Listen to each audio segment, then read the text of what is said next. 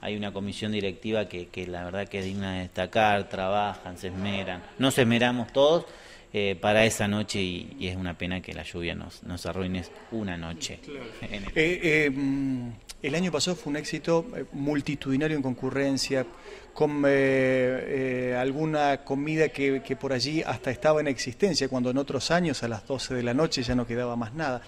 Eh, la Comisión Central trata de bajar línea también a propósito de las cantidades que se elaboren para que no se quede corto, como se dice habitualmente nadie. Claro, obviamente, al exigirle que pongan más lugares, tienen que poner más comida. Esa es la exigencia. Y no exigir pongan tanta comida que al lunes vengan y digan, ustedes me dijeron que pongan tanto pollo y no vendí nada. Entonces, si vos pones más lugares, vas a tener que poner más comida. Creo que va de la mano la exigencia. Pero yo creo que todos apostamos más. O sea, todos ya el, año pasado apostamos un poco más, ganamos más.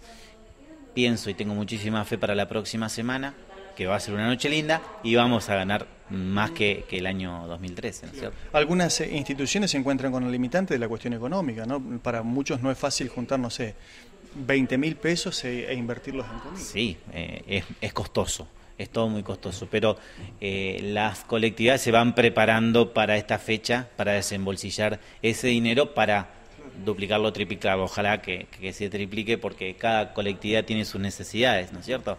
Como, como la tiene la sociedad italiana, como tienen los suizos, los franceses, el cencerro, los sirio-libaneses, todos tenemos necesidades, todos vivimos eh, de, la, de la comunidad, o sea, la, institución vive de la comunidad, y a su vez eh, el ingreso mayor del, de las de las instituciones de las instituciones en fiesta de las colectividades, por supuesto.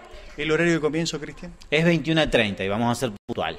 21 a 30, arrancamos para que no se extienda y para que no se nos eh, no se retrase absolutamente nada, venimos muy muy programaditos, eh. así que 21 a 30 vamos a comenzar. Bien, y la idea es que cada institución presente también su cuerpo de baile. Sí, sí, eso como tradicionalmente se viene haciendo hace unos años, o sea, hace 21 años se hace la fiesta y algunos, como Aroma Izagueres, que hace 5 años o 6 que está, eh, cada colectividad tiene su cuerpo de baile y se va presentando. Eso se sortea para que no esté siempre el, primero una, una colectividad.